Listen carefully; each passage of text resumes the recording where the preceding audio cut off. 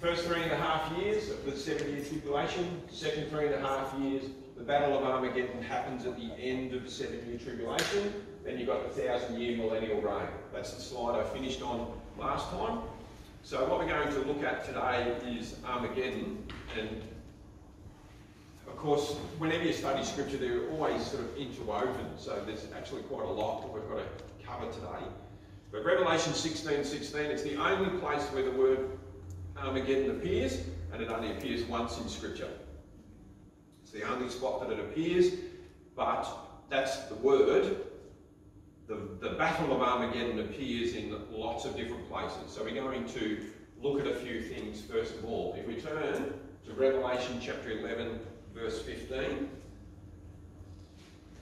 then let me pray before we get started. So Revelation 11, 15 we'll be reading from, and let me pray, because this is actually quite a complex little talk, this one. You're going to have to have your brain switched on and your pen and paper for notes. So Lord, we need your help.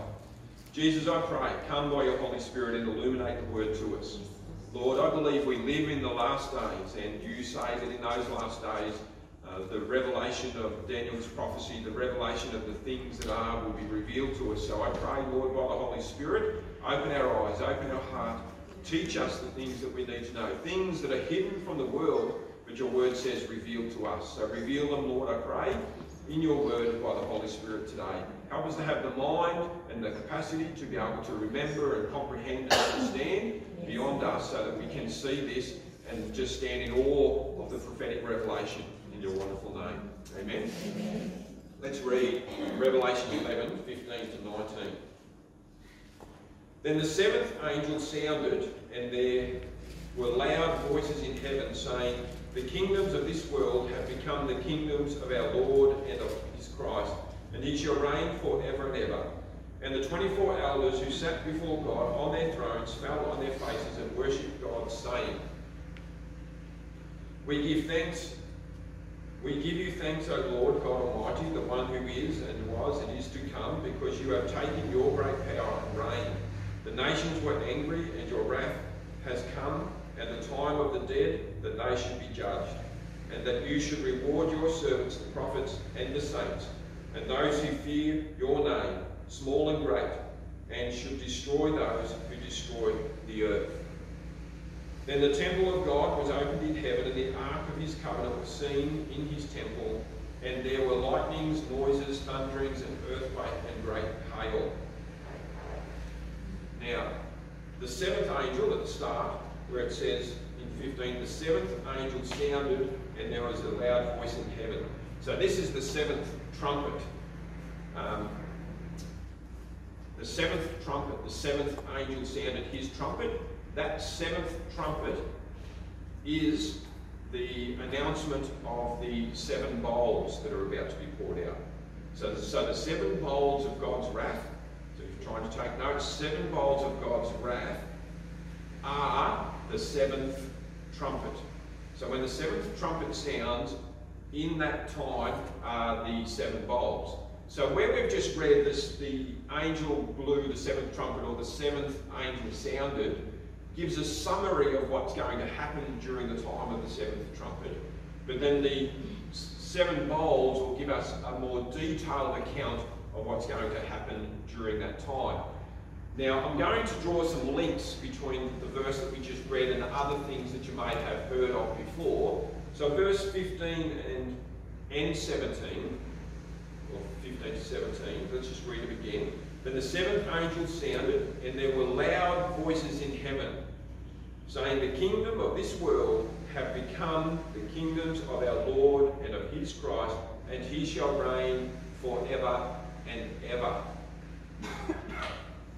He shall reign forever and ever. That language of he shall reign forever and ever means Jesus has returned and the millennial kingdom. So when Jesus returns at the end of the tribulation, he returns and he never leaves.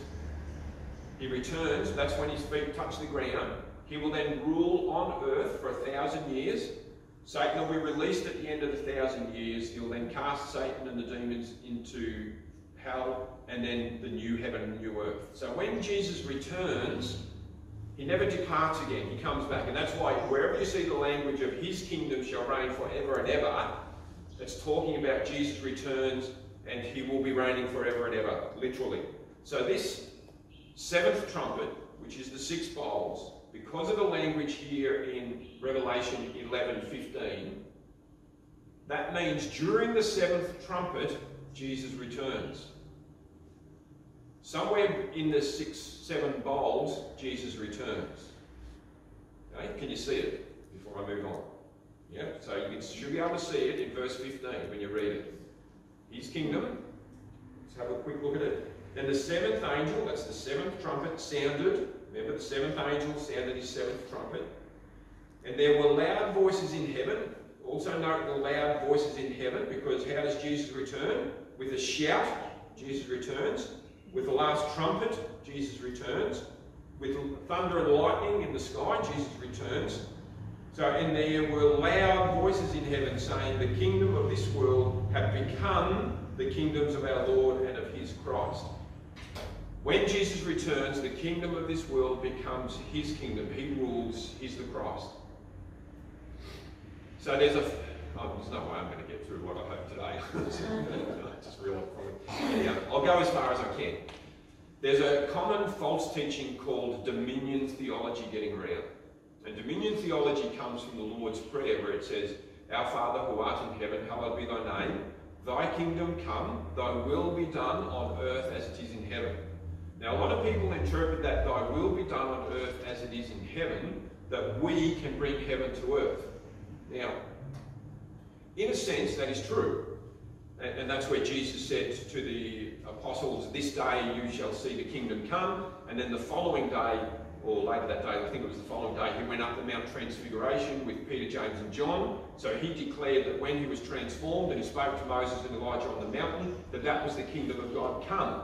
That was the kingdom of God come there, where he was, with Moses and Elijah up the Mount Transfiguration. The kingdom had not come to the world, the kingdom had come there. So, because the Holy Spirit dwells in us, Christ dwells in us by the Holy Spirit, the Holy Spirit dwells in us, the kingdom of God is come. The kingdom of God has come in the sense of whenever we live in the perfect will of God, whenever we choose to lay aside our sin, lay aside our agenda, and bring ourselves under the Lordship of Christ and are in the will of God, then the manifestation of the Holy Spirit there in that place to fulfill Christ's will, the kingdom has come.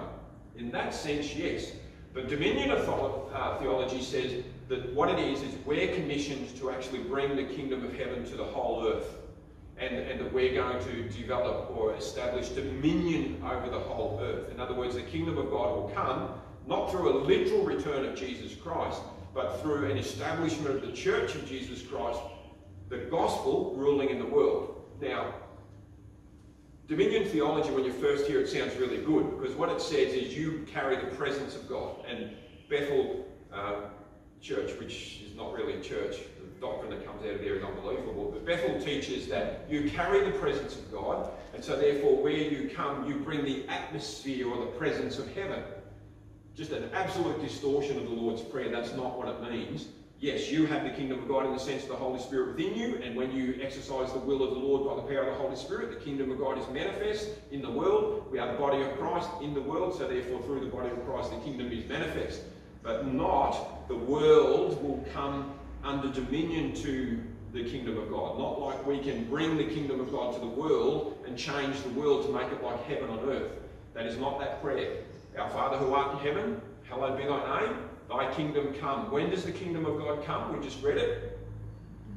In, in first Revelation 11, 15, Jesus returned. Jesus brings the kingdom of God with him, and he'll rule and reign on earth literally. That's when the nations of the earth will be subject to him. So we can't usher in that kingdom. That kingdom comes when Jesus returns. But we usher in that kingdom in the sense of doing the will of the Lord, obeying Christ, sharing the gospel. So there's a measure of the kingdom come, but not the kingdom come full stop. That happens when Jesus returns. So dominion theology sort of says you don't really even have to, and I've listened to this where they say you don't even really have to preach the gospel. You don't even have to mention Jesus. You carry the presence of God. And so therefore you can carry the presence of God into a pub and just tell people what you believe God is saying about them, never preach the gospel, never talk about Jesus, and they believe you've brought the kingdom of God because you bring the presence of the kingdom with you as a believer. Absolute distortion. Okay? So we need to be clear in our mind. The kingdom of God come is the return of Jesus, where he will literally rule and reign. He'll reign over the nations of the earth on earth. And in the meantime, the kingdom comes by the preaching of the gospel for all those who enter into salvation, enter into the kingdom of God, enter into that salvation. But the world itself will never do that. The scripture says that it'll get worse and worse and worse to the point where if God did not cut it short, no flesh would survive. There'll be a great falling away, and uh, in Romans 1, they believe the lie and they're handed over to their sins. Scripture after scripture indicates it will get worse, not better. So, dominion theology that says we're going to bring heaven to earth is unscriptural. It's completely against what prophecy says. Prophecy says it will get worse and worse and worse and worse to the point where will there even be faith in the earth when Jesus returns? That's why, in the end, it's called remnant believers. That's why I've named my ministry Australian Remnant Ministries. Remnant being the last ones still faithful to Christ when He returns. We will not be saving the world. The world will get worse and worse, and it'll be difficult for Christians to remain Christian. But we are called to overcome, we're called to be faithful, we're called to persevere, we're called to endure. So, verse 15. Then the seventh angel sounded, and there was a loud voice in heaven saying, The kingdoms of this world have become the kingdoms of our Lord and of his Christ, and he shall reign forever and ever. He has returned. So that means in the seventh trumpet, the seven bowls, Jesus returns somewhere in that time frame. And the 24 elders who sat before God on their thrones fell on their faces and worshipped God, saying, We give you thanks, O Lord God Almighty, the one who was, sorry, the one who is and who was and who is to come, because you have taken your great power and reign. The nations were angry Okay, so the nations of the world won't rejoice at this returning. The nations will be angry. They'll mourn. They'll hate this time. The nations were angry, and your wrath has come. So when Jesus returns, it's about the return of his wrath for judgment. So people, Christians who don't like that, so this is the other problem. People who are trying to sell the gospel on the basis of God just loves you. Yes, God loved you enough to come and die on the cross for your sins. And we're in the, what the Bible calls the valley of decision for nearly 2,000 years. Choose Christ. Choose Christ. That's why we preach the gospel. Jesus died on the cross to pay the price of your sins. Humble yourself, repent, become a disciple, follow Jesus, follow him through baptism, become one of his disciples, come into the kingdom of God. Now is the time to make that choice because when Jesus returns, that choice is finished. Because when he returns, he comes to judge. Verse 18. The nations were angry, and your wrath has come, and the time of the dead that they should be judged. The time of the dead will be raised, and they shall be judged.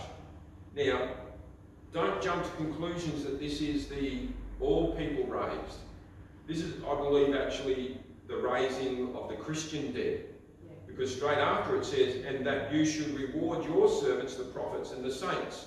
So this resurrection at the return of Christ is the resurrection of the saints and they will be judged. We, we get judged to receive reward, not judged for our sin.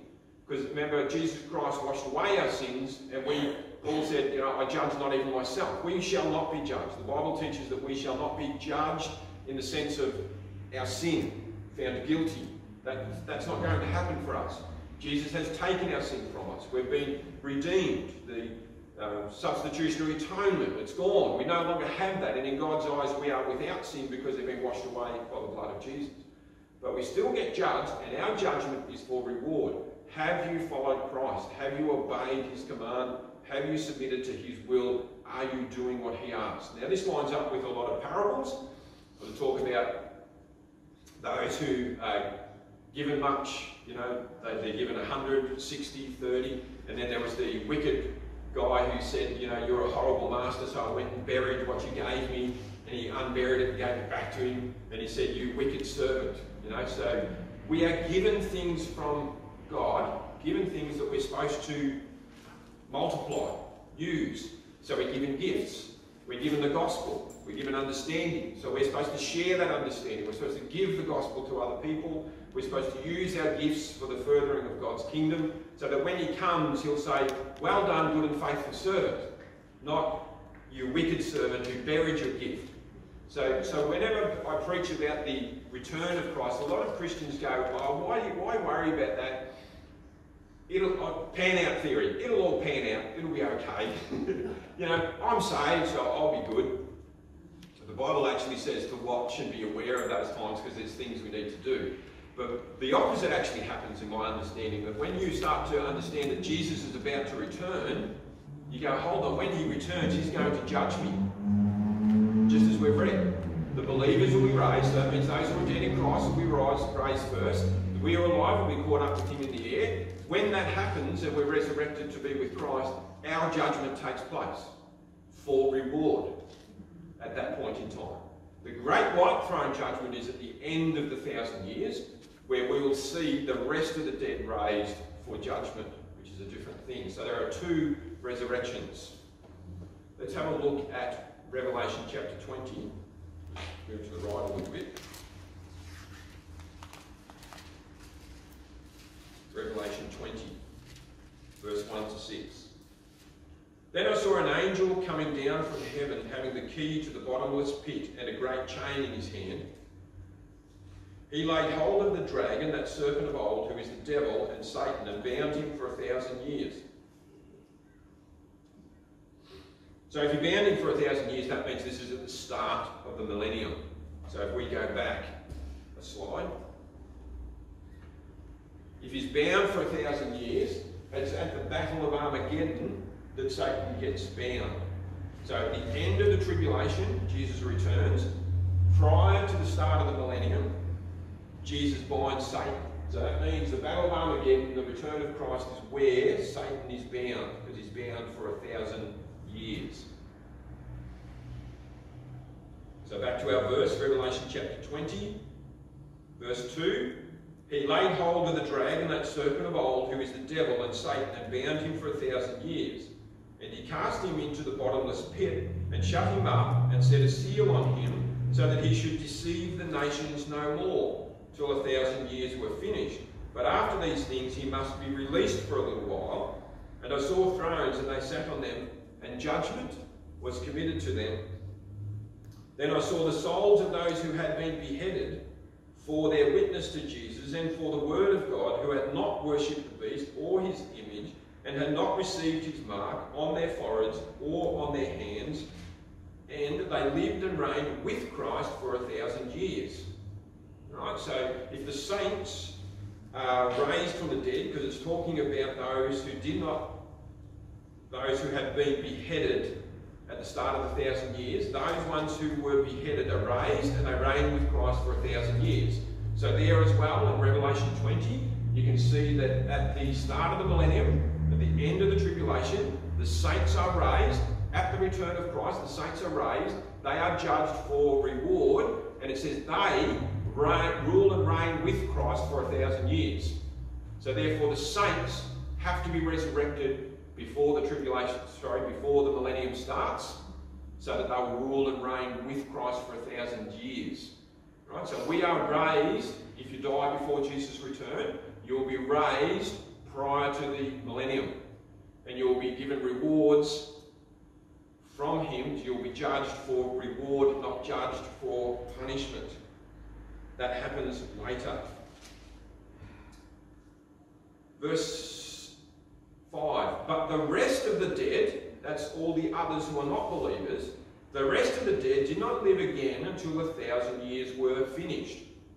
So we have two resurrections. So if you're trying to take notes and keep track of things, we've got two resurrections. We've got the resurrection at the start of the millennium and a resurrection at the end of the millennium. The resurrection at the start of the millennium are the saints resurrected for reward. The resurrection at the end of the millennium are the rest of the dead. So if the saints have been raised, then the rest of the dead are all unbelieving people who have died without Christ, shall be raised at the end of the thousand years.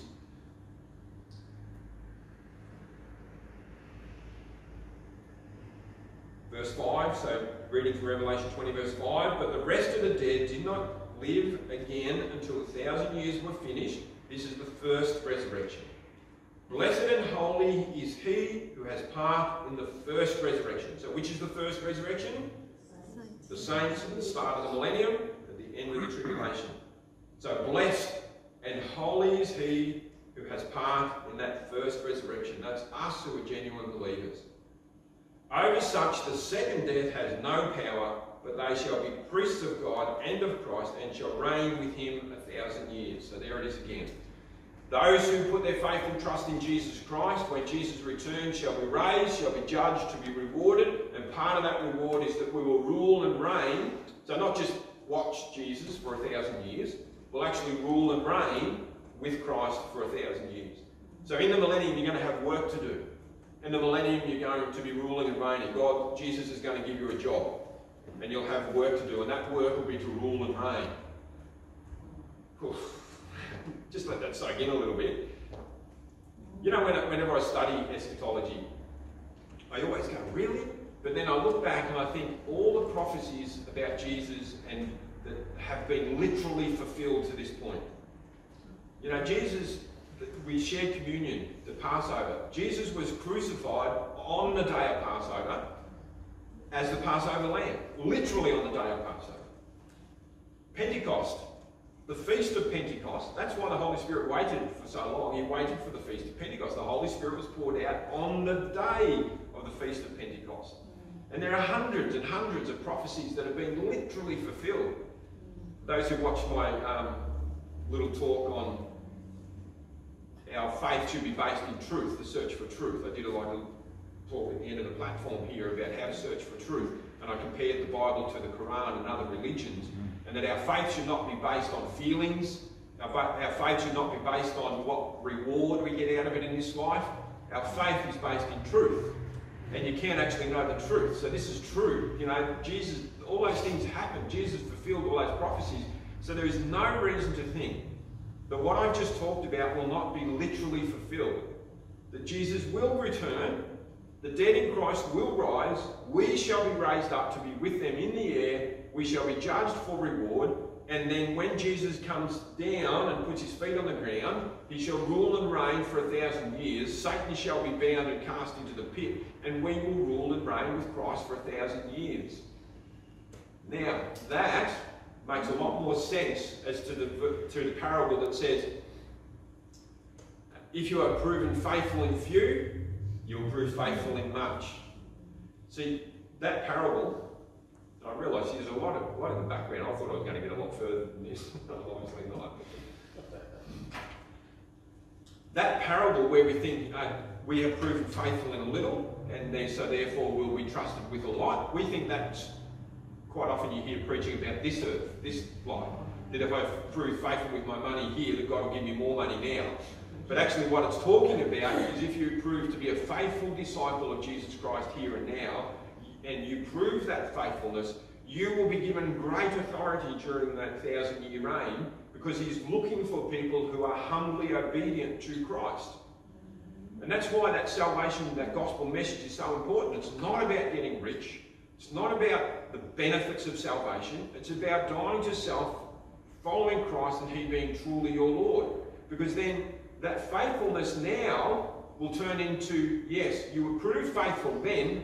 Now I give you this. I want you to take care of this or look after this. You you are to rule in my authority in this area or whatever. And I firmly believe that because remember when Jesus comes, he's still in bodily form. He'll rule and reign from Jerusalem because he's not going to rule as like God all over the earth in that sense, you know, omnipresent, like the Spirit of God. Like now Jesus rules in our life and in the saints throughout the world by the Holy Spirit. The Holy Spirit dwells in you as it dwells in me. We're the temple of the Holy Spirit. The church of Jesus Christ all over the world has the Holy Spirit in them. But when Jesus returns, he has taken on bodily form. And he shall rule and reign from Jerusalem in bodily form. He will literally be on earth ruling. He will exercise that ruling of the earth via the saints. We shall rule and reign with Christ for a thousand years. Do you see that? Yeah. Wow. wow. And this is why I reckon Satan just wants this kept hidden from Christians. Don't preach about eschatology. We don't need to know about that. You know, let's just love each other.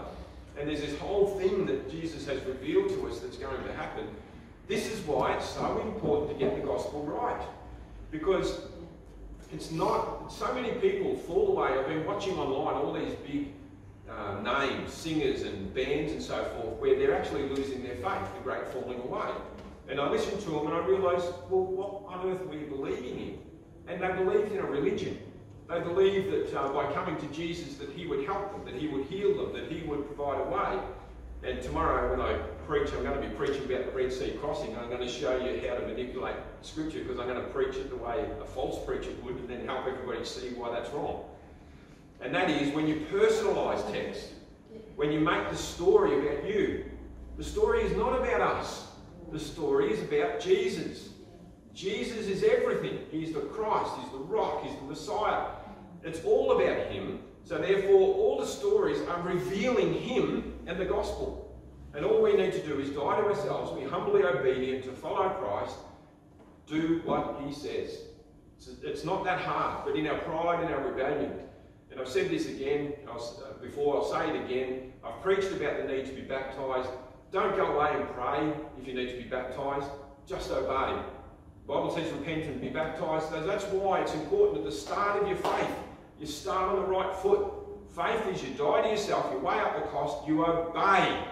The first commandment is repent and be baptised. So you don't go praying asking for a special invitation or a special exemption. You just read the text repent and be baptized and you obey it. So what that does, it sets up a Christian life that says my life as a Christian is about humble obedience to Christ. And those who prove to be faithful shall be given much responsibility during the millennial reign. You will rule and reign with Christ because you have proven yourself to be humbly, faithfully obedient to Christ. Amen? Amen. Wow got three slides with about six points on each slide, and that's taken me 20 minutes for one. yeah. We'll see how we go. We'll work through it. Um, so we are reading from Revelation chapter 11. We've been looking at verse 15 and 17, and then we went to oh yeah, Revelation 21 to 6, the millennium. Let's move on. Verse 18. So go back to Revelation 11. And let's have a look at verse 18. Verse 18 says, The nations were angry, and your wrath has come, and the time of the dead that they should be judged, and that you should reward your servants, the prophets and the saints, and those who fear your name. Isn't that interesting? And those who fear your name. So the fear of the Lord is actually a good thing. The fear of the Lord produces obedience. Those who fear your name, small and great, and should destroy those who destroy the earth. If you turn with me to 1 Thessalonians, so that's back to the right. Oh, sorry, back to the left. I'm going left and talking right. Back to the left. 1 Thessalonians chapter 4, verse 13. 13 to 18. 1 Thessalonians 4, 13 to 18. But I do not want you, and keep your finger in um, Revelation 11, because we'll keep flicking back to Revelation 11. So 1 Thessalonians 4.13. But I do not want you to be ignorant, brethren, concerning those who have fallen asleep, lest you sorrow as others who have no hope. So the context of what I'm about to read is Paul, yeah, Paul wrote Thessalonians, didn't he? Yeah, Paul comforting these believers. So what's happening with these believers is that they know that Jesus is going to return. And so their concern is, well, when Jesus returns and ushers in the kingdom, we're alive, that's okay, that'll be good. We're here, Jesus will return and we'll rule and reign with Christ. But what about our brothers and sisters who have died? So he is about to give them comfort in the truth about your brothers and sisters in Christ who have died. So this is the context that this is written in. Verse 14. For if we believe that Jesus died and rose again, tick, which we do, even so God will bring him those who sleep in Jesus. Even so, God will bring with him those who sleep in Jesus. When Jesus returns, he will bring with him those who sleep in Jesus. So that means if you're asking the question, where do we go when we die? Your spirit or something of your essence, I, I don't know how to describe that, spirit, soul, something that, that of you that's not flesh, goes to be with the Lord, and when he returns, he brings you with him. So this is Jesus, sorry, inspiration, Jesus through Paul, to these believers, giving them encouragement. What's going on with our brothers and sisters in Christ who have died? We're alive and Jesus is going to come, that's good, but what about my brother who died, who believed in you, and so forth? What about them? And he's saying to them, Be encouraged, those who have fallen asleep in Christ, he shall return with them. So therefore their souls, their spirit is with God in heaven, with Jesus in heaven, and when he returns, he's going to bring them with him. Who sleep in Jesus, verse 15. For this we say to you, by the word of the Lord. So, in other words, this is not them, uh, this, this indicates that Jesus told them this. That when they were alive, Jesus told them this. For this we say to you by the word of the Lord. In other words, Jesus Christ himself told us this, and we're telling you. That we who are alive and remain until the coming of the Lord will by no means precede those who are asleep. Jesus himself said to the apostles, You will not be resurrected prior or before those who have fallen asleep. Okay? So what that means is the rapture cannot take place until after the resurrection. The rapture cannot take place until after the resurrection. Let it sink in a little bit. Let's read it again, verse 15. For this we say to you by the word of the Lord, this is Jesus himself, that we who are alive and remain until the coming of the Lord will by no means precede those who are asleep. In other words, we won't go back to be with the Lord before those who are asleep. And it goes on, verse 16 For the Lord himself will descend, this is how it's going to happen. The Lord will descend from heaven with a shout. There's that shout, the voice of the archangel. And if we go back to our verse, that's why I keep your finger in both. Flick back to Revelation 11.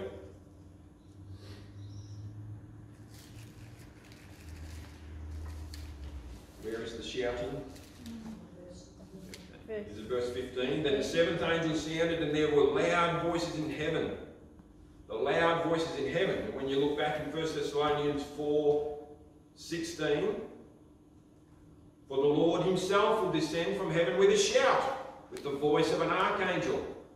All right, so this return of Christ always comes with a shout, with the voice of the archangel, with the trumpet of God. There's this angels declaring, the trumpet declaring Jesus is returning to be like this is a not a spiritual thing where we won't actually hear it like a like symbolic. I believe this will actually be we will hear this. Yeah. That final trumpet will sound and it's done. It's finished. When that trumpet sounds, all decisions for salvation are off.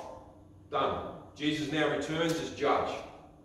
So that's why it's important. Anyone listening to the tape, if you have not given your life to Jesus, you need to give your life to Jesus and follow and serve Christ because you do not know when He's going to return.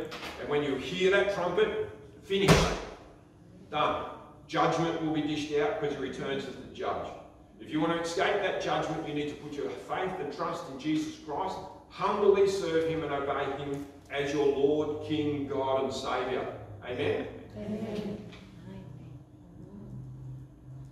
Verse 1 Thessalonians 4.16, For the Lord himself will descend from heaven with a shout, with the voice of an archangel, and with the trumpet of God, and the dead in Christ will rise first. Then we who are alive and remain will be caught up together with them in the clouds to meet the Lord in the air, and thus we shall always be with the Lord. That language, thus we will always be with the Lord.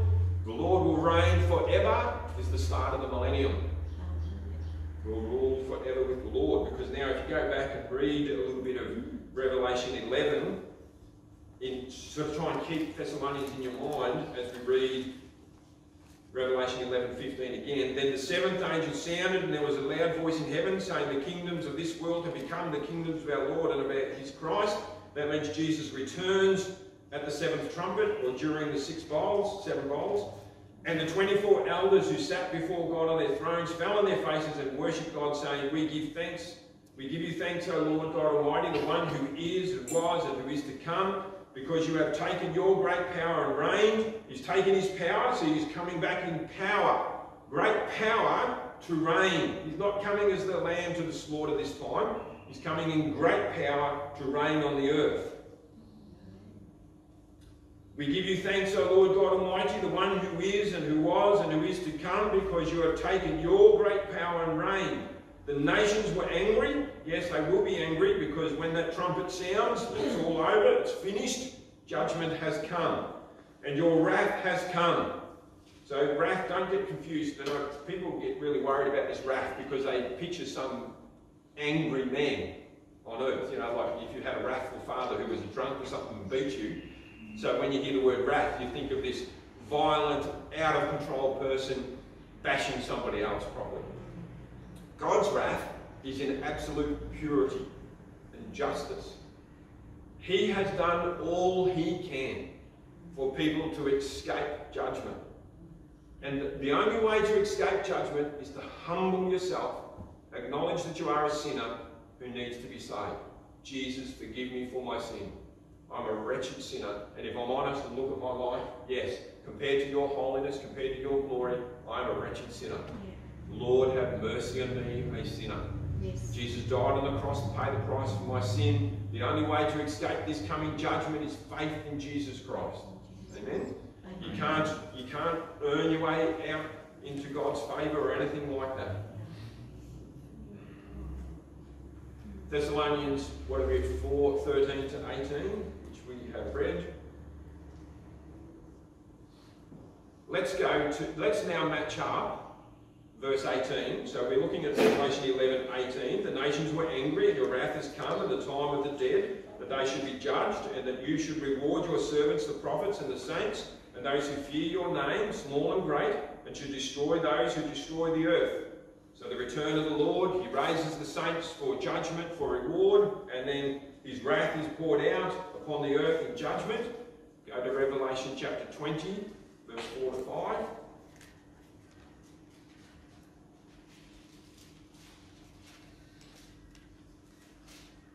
20 verse 4, And I saw thrones, and they sat on them, and judgment was committed to them. Then I saw the souls of those who had been beheaded for the witness of Jesus and for the word of God, and who had not worshipped the beast or his image, and had not received his mark on their foreheads or on their hands, and they lived and reigned with Christ uh, for a thousand years. But the rest of the dead did not live again until the thousand years were finished. This is the first resurrection. So if you line that back up with 1 Thessalonians 4, 13 and 18, it's the same sort of thing. Jesus is raising uh, the saints who have died and then raising those who are alive, and then he returns to the earth, puts his feet on the ground and judges, which matches Revelation chapter 11, which is our main verse that we're looking at, which then also matches Revelation 20, the great white throne judgment. Let's look at verse 19. So the main text we're working out of is Revelation 11. Let's look at 19. Then the temple of God was opened in heaven, and the ark of his covenant was seen in his temple, and there were lightnings, noises, thunderings, and earthquake, and great hail. Let's look at, so always keep your finger in Revelation 11. Let's go and look at Matthew 24, 29.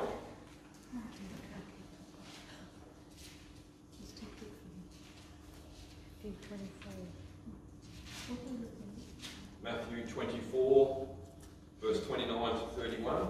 Matthew 24, 29 to 31. Immediately after the tribulation. Language can't get any plainer than that, can it? Immediately after the tribulation. So this is at the end of the tribulation. Of those days, because all of chapter 24 is about the return of Christ, at the top and the end. Immediately after the tribulation of those days, the sun will be darkened, the moon will not give its light, the stars will fall from heaven, and the powers of the heaven will be shaken. Then the sign of the Son of Man will appear in heaven. And then all the tribes of the earth will mourn. Okay, so if we go back to Revelation 11, verse 18, the nations were angry. How on earth would the nations be angry unless they see something or know something's happened? So when you match this up with Matthew, immediately after the tribulation, the, the, uh, the world will go dark, the moon will not give its light. Now, let's think about this for a minute. The moon, you know, the sun will go dark, the moon will not give its light. Some people think that that's then, well, what, what happens? Does God actually remove the sun from existence? Quite often, a lot of these prophecies have a really natural fulfillment that you can miss because you're imagining things. This could simply be a massive volcano eruption that fills the atmosphere with dust and the world goes dark. Okay? But it's a cataclysmic event. This is a world changing event. And Jesus said that unless he returned, no flesh would survive. So whether this is a meteorite hits the earth, whether this is the use of nuclear weapons, whether this is a, a volcano like um, over in America, what's that national park? Volcanoes about the size. Yellowstone. Yellowstone National Park. Well, that is massive, but if that volcano erupted, um, the whole world would go dark. We'd be covered in dust. So it could be a volcano, it could be nuclear weapons, it could be an asteroid. What it is doesn't really matter. Because that's where people, you know, I can, this is what happens online. They, they get all the news reports and all the dramatic music. No, no, no, no, you know, meteorite's going to strike the earth. And they create all this, oh, what's, you know. And people remember the interpretation or the, or the drama, not the text. So we're going to try and remember the text. So let's have, have a look at it again. Matthew chapter 24, 24 verse 29 immediately after the tribulation. So we know that this is not going to happen until after the tribulation, is going dark. And if you remember, summarise my previous talks, the tribulation is that seven year period. What indicates the start of the tribulation? He makes a covenant with many. So we were talking about this yesterday. We've got to be careful. It doesn't say sign. Because what people might be looking for is a signed agreement. And it may not actually be signed. It just says he makes a covenant with many. So that could have already happened for all we know. Um, so you've got to think, well, he, he is the Antichrist. So if we are in the last days, the Antichrist is already active, and I've got a fair idea who that is. I'll share that eventually. So he makes a covenant with many, but in the middle of the week, he breaks the covenant, sets up the abomination that causes desolation. That's the setting up of an image, and you have to worship that image in order to be able to buy and sell and receive his mark. Now, the language sounds like a statue and we've got to go and sing, but it could be, as I've explained before, just a system. It could be the system of the world. You know, consumerism is not godly. Consumerism is actually quite evil. And in James it talks about in the last days those who oppress the poor to, to increase their wealth. Um, could go and have a look at that, but it actually talks about this in the last days, that one of the signs of the last generation or the last day is that they oppress the poor for their own personal gain quite significantly. And you know that 70% of the world's wealth is held by 20 people. Yeah. Absolute out of proportion. Right? That is the last days. We are in a generation where poor, destitute people in third world countries are being used by the rich and powerful for them to become richer and more powerful. So that system is evil. So, so getting the mark of the beast may not be a tattoo of 666 across your forehead, and maybe they just turn our credit card into a chip under our skin. We don't know. We don't know. But what it says is watch and be careful because it's associated with worship of the beast. So we've got to look at is there any worship associated with it? Do not receive that mark, whatever that mark is, because those who receive that mark are cast into hell with Satan and his demons. So it is pretty evil, but Satan is deceptive. It won't, it won't be that obvious. And that's why I can't understand Christians who say, oh, don't worry about studying eschatology. Well, how do you know? The mark of the beast, it could already be here for all we know. And I haven't got that far, but there's a verse that we'll get to that says the people of that time are to be watchful. We are to be watchful. We are to be discerning. We will know those times. Verse 30. So I'm in Matthew chapter 24, verse 30. I'll finish up soon, probably. Depends how you go. The sign of the Son of Man will appear in the heaven. This is where everybody will see it. And the sign of the Son of Man, that's where in Revelation chapter 11, verse 15, they'll get angry. You know, the world will be, will be angry because they'll see this sign. Verse 30 in Matthew 24 The sign of the Son of Man will appear in heaven, and then all the tribes of the earth will mourn, and they will see the Son of Man coming on the clouds of heaven with power and great glory. Remember, he returns in power and glory. Yep, and he will send his angels with a great sound of the trumpet. There's that great sound again. And he sends his angels, and they will gather together his elect from the four winds from one end of heaven to the other. Jesus returns and sends his angels out to gather the elect. And, the, and remember, the dead in Christ will rise first, and then we who are alive will be caught up with him. So Jesus comes in power and authority. The dead in Christ will rise. We who are alive will change and transform to be like him in order to see him as he truly is, and we'll all go up to be with the Lord in heaven. When we're in heaven, so that's probably why there's a 45 day gap between the end of the tribulation and the, where Jesus puts his feet on the ground, the actual end. And that's where we get judged to receive reward, an allocation of things, and then he returns and puts his feet on the ground. When Jesus puts his feet on the ground, that's when the end comes for the world. Know, the trumpet is sounded. So what happens is the trumpet sounds for the gathering of the elect. So that means there, there is no secret rapture. We're not secretly going to disappear.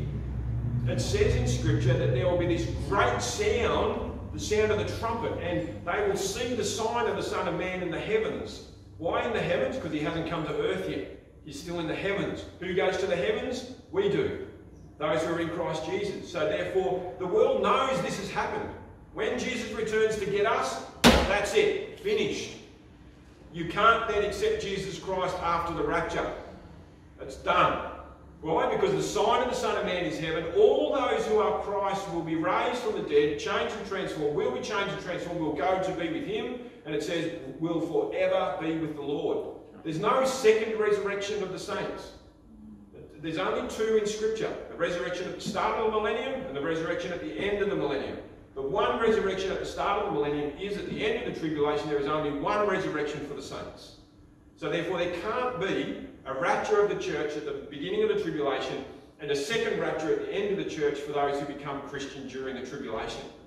Otherwise, there'd be two resurrections of saints. And that doesn't make sense. It's not scriptural. Right? Yeah. I'll wait and see what your son has to say. Because um, Judy's son believes in a. No, no, he agrees with me, doesn't he? He Oh, that's right, yes. I'm the iffy one. I'm winning you over.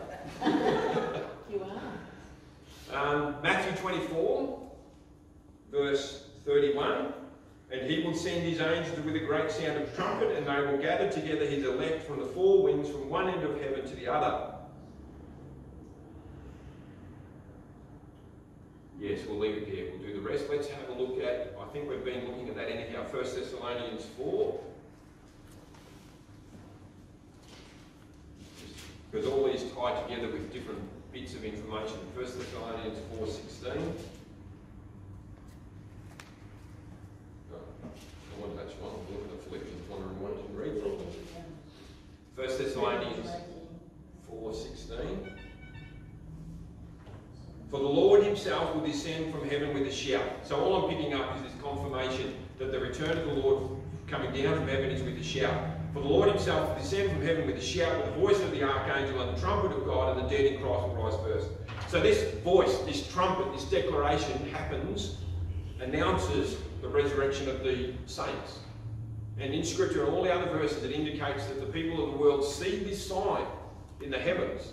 So therefore there is no secret rapture. They'll see this sign, and they'll hear the trumpet, they'll see what's happened, we shall be raised, and they shall be left.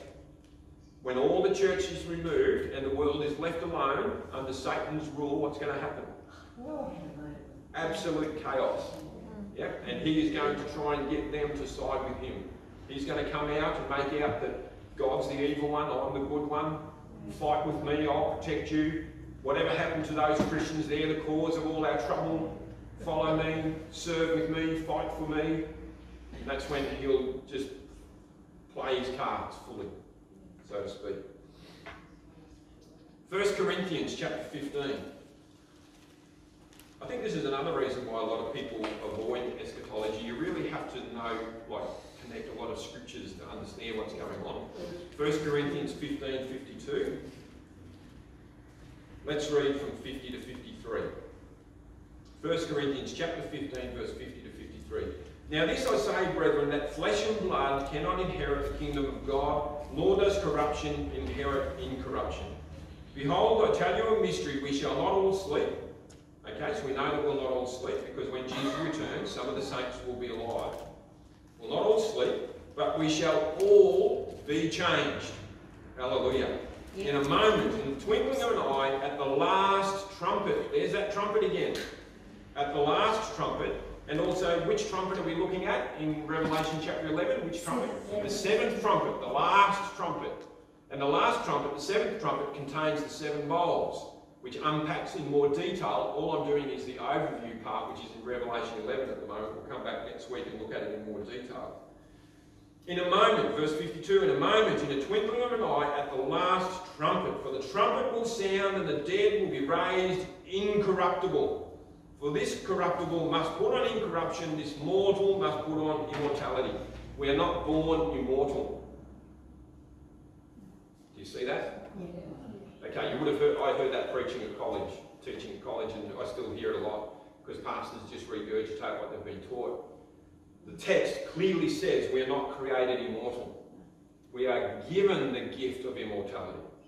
That, that matches more with Jesus says, I give you the gift of life, eternal life. So your faith in Christ is more than just forgiveness for sins. When you put your faith in Christ and enter into the kingdom, He gives you the gift of eternal life. And that eternal life, when we're resurrected, this corruption shall put on incorruption, this mortal in other words, sin, death, this mortal body shall put on immortality. Now, of course, that's debatable. It's a side issue. It doesn't really matter. What matters is we know Jesus is going to return. We know Jesus is going to raise from the dead. And we know Jesus is going to give us an incorruptible, glorious body. And we're going to rule and reign with Christ for a thousand years. Amen? Amen. Amen. Let's just finish off on Revelation chapter 16, verse 18.